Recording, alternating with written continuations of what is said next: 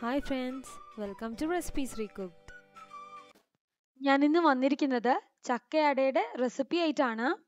Easy ആയിട്ട് എങ്ങനെയാണ് ഒരു പെർഫെക്റ്റ് ചക്കയട തയ്യാറാക്കുന്നത് എന്ന് നോക്കാം.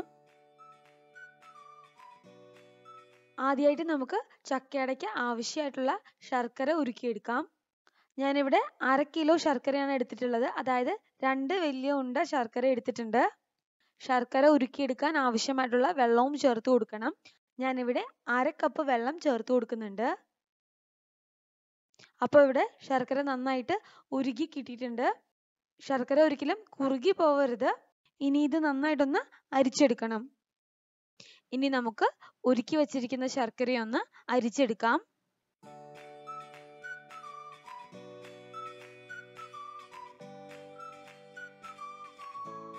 ഇനി നമുക്ക് ചക്കയടയ്ക്ക് ആവശ്യമായിട്ടുള്ള ചക്ക നല്ല ഫൈൻ ആയിട്ട് അരച്ചെടുക്കണം. ഞാനിവിടെ നല്ല പഴുത്ത വരിക്കച്ചക്ക ചകിണിയും ചക്കക്കുരു ഒക്കെ മാറ്റി ക്ലീൻ ചെയ്ത് എടുത്തു വെച്ചിട്ടുണ്ട്. ചക്ക അരച്ചെടുക്കാനായിട്ട് ടു ബ്ലേഡിന്റെ ജാറാണ് യൂസ് ചെയ്യുന്നത്. ഒട്ടും വെള്ളം ചേർക്കാതെ ചക്ക നല്ല ഫൈൻ ആയിട്ട് അരച്ചെടുക്കണം. ഞാനിവിടെ നാല് കപ്പ് ചക്കച്ചോളയാണ് എടുത്തിട്ടുള്ളത്. അപ്പോൾ ഇവിടെ ചക്ക നല്ല ഫൈൻ ആയിട്ട് അരച്ചെടുത്തിട്ടുണ്ട്. ഇതുപോലെ ബാക്കിയുള്ള ചക്കയും അരച്ചെടുക്കണം. അപ്പോൾ ഇവിടെ എല്ലാ ചക്കയും നല്ല ഫൈൻ ആയിട്ട് അരച്ചെടുത്തിട്ടുണ്ട്.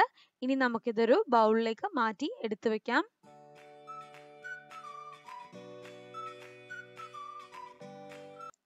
പിന്നെ വേണ്ടത് എടനയിലയാണ്. എടനയില വഴനയില എന്നൊക്കെ പറയും. എടനയില ചക്കയടയ്ക്ക് നല്ലൊരു ഫ്ലേവർ കൊടുക്കും. എടനയില ഇല്ലെങ്കിൽ നിങ്ങൾക്ക് ഇതിന് പകരമായിട്ട് വട്ടയിലയോ അല്ലെങ്കിൽ വാഴയിലയിലോ ഇത് തയ്യാറാക്കാവുന്നതാണ്. ഇനി നമുക്ക് ചക്കയടയ്ക്കുള്ള മാവ് കുഴച്ചെടുക്കണം. അതിനായിട്ട് ഒരു ബൗളിലേക്ക് ഒരു കപ്പ് ഇടിയപ്പത്തിന്റെ പൊടിയും ഒരു കപ്പ് പുട്ടിന്റെ പൊടിയും ചേർത്ത് കൊടുക്കുന്നുണ്ട്.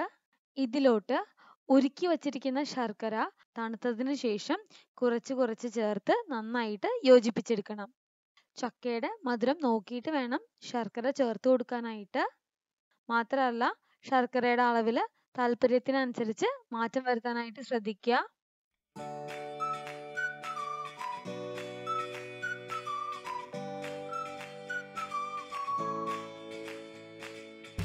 അഞ്ച് ഏലക്കായ്ക്കൊപ്പം ഒരു ടേബിൾ സ്പൂൺ പഞ്ചസാരയും കൂടെ ചേർത്ത് പൊടിച്ചത് ചേർത്ത് കൊടുക്കാം. ഇതിലോട്ടിനി അരച്ചു വച്ചിരിക്കുന്ന ചക്ക ചേർത്ത് നന്നായിട്ട് യോജിപ്പിച്ചെടുക്കണം. ഏലക്കായ്ക്ക് പകരം ജീരകമോ ചുക്കോ ചേർത്ത് കൊടുക്കാവുന്നതാണ്.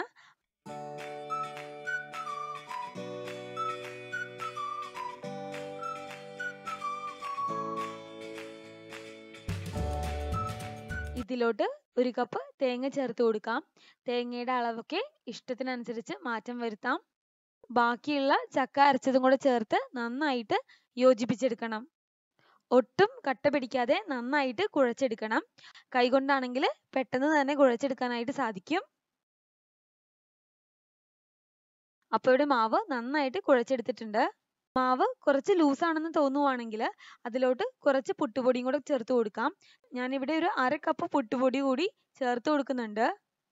പുട്ടുപൊടി ചേർത്ത് നന്നായിട്ട് യോജിപ്പിച്ചെടുക്കണം. ഇപ്പോൾ ഈ ചേർത്ത പുട്ടുപൊടി മാവിലുള്ള എക്സസ് വെള്ളമെല്ലാം അബ്സോർബ് ചെയ്തിട്ട് മാവ് നല്ല ടൈറ്റ് ആയിട്ട് വരാനായിട്ട് ഹെൽപ്പ് ചെയ്യും. നന്നായിട്ട് മിക്സ് ചെയ്ത് എടുത്തതിന് ശേഷം ഒരു പത്ത് മിനിറ്റ് ഇത് മാറ്റി വെക്കാം.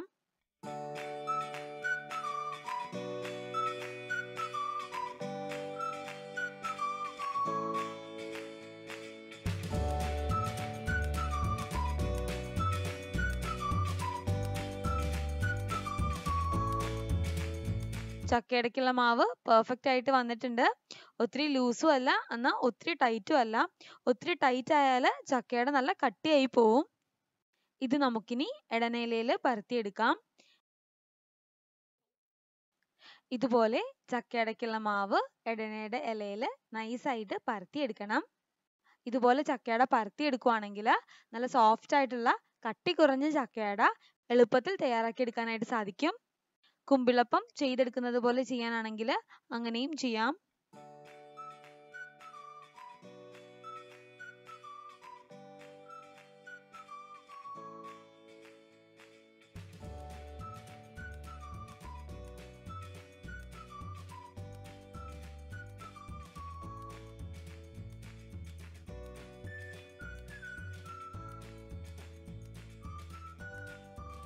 എല്ലാ ചക്കയുടെയും വേവിക്കാനായിട്ട് റെഡിയാക്കി വെച്ചിട്ടുണ്ട്.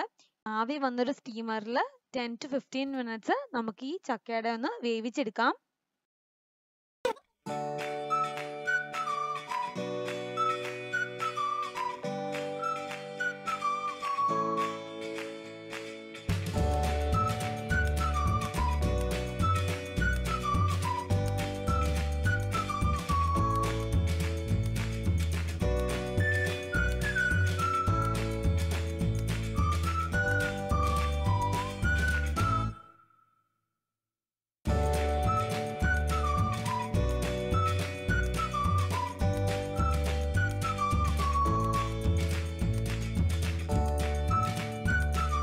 അപ്പോൾ ഇവിടെ നൈസ് ആൻഡ് സോഫ്റ്റ് ആയിട്ടുള്ള ചക്കയുടെ റെഡി ആയിട്ടുണ്ട്.